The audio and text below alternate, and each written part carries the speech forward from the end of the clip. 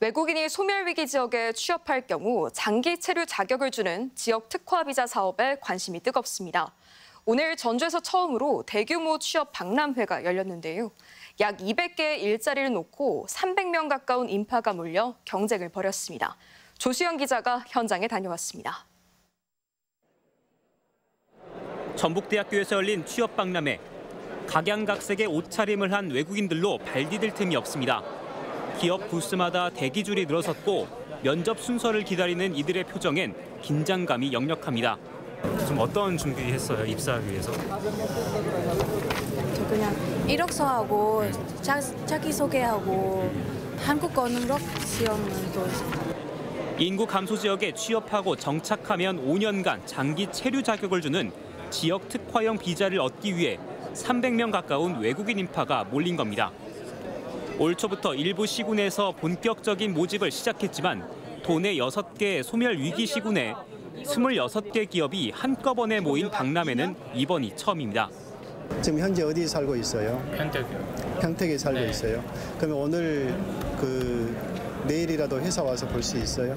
아니 거의 회사에서 볼수 있어요.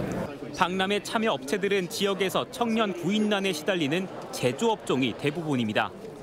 전문 학사 이상 학위를 취득한 유학생이 주된 타깃으로 3천만 원 안팎의 연봉을 조건으로 내걸었습니다. 지게차라든가 기계를 움직일 수 있는 사람들을 채용하고 싶은데 내국인이 첫째 없어요. 애국인마저도 어, 시골이다 보니까 안 온단 말이에요.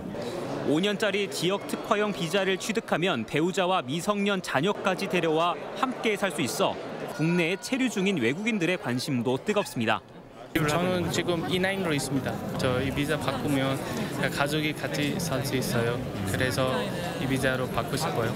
전라북도는 지난 연말 모집을 시작해 현재 약 200명을 소멸 위기 지역 산업 현장에 투입했습니다.